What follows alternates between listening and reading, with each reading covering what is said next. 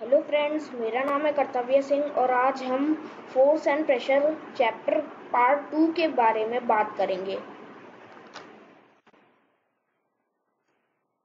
Pressure what is pressure the force acting on per unit area of surface is called pressure ऐसा force जो एक particular unit area पे act करता है, उसे प्रेशर कहते हैं।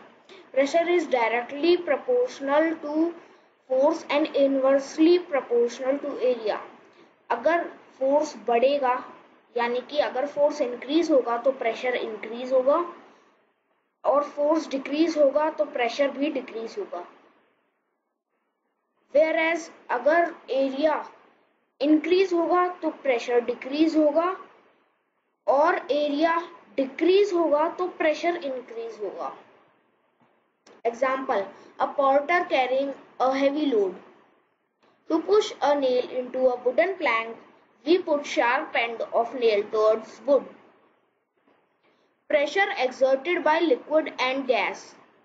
Liquid and gas also exert pressure on inner walls of container in which they are kept. Liquid और गैस जो होते हैं वो भी अपने कंटेनर के इनर वॉल्स पर प्रेशर डालते हैं water start leaking if there is a pore in the bottle. Water leak करने लगता है अगर बॉटल में कहीं पे पोर है, क्योंकि वाटर अपने कंटेनर पर प्रेशर डालता है।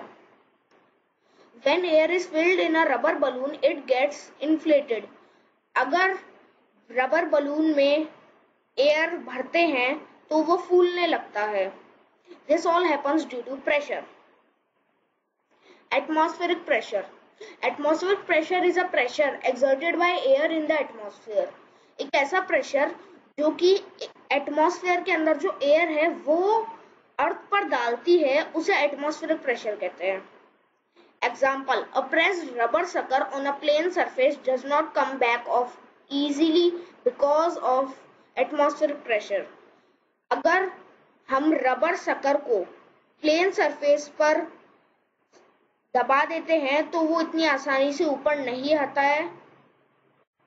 Because of atmospheric pressure atmospheric pressure on human on earth how much force air will exert on my head if dimension of my head is 15 into fifteen centimeter as per studies एक air का column जो कि one into one centimetre का area है जिसका उस air का मास होगा वन के जी और जो कि फोर्स एक्सर्ट करेगी टेन न्यूटन के बराबर, जिससे प्रेशर रिज़ल्ट होएगा ten newton per square centimeter और इसी बेसिस पर if area of cross section of head of a person is two twenty five square centimeter जो कि फिफ्टीन इंटू फिफ्टीन सेंटीमीटर के जितना है तो उस कॉलम में जो एयर का मास होगा, वो होगा 225 kilo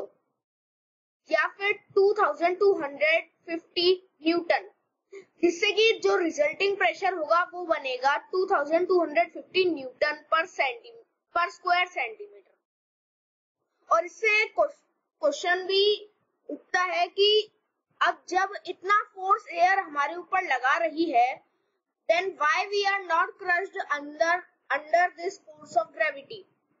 This is because the pressure inside our body is equal to atmospheric pressure and thus it balances the pressure from outside.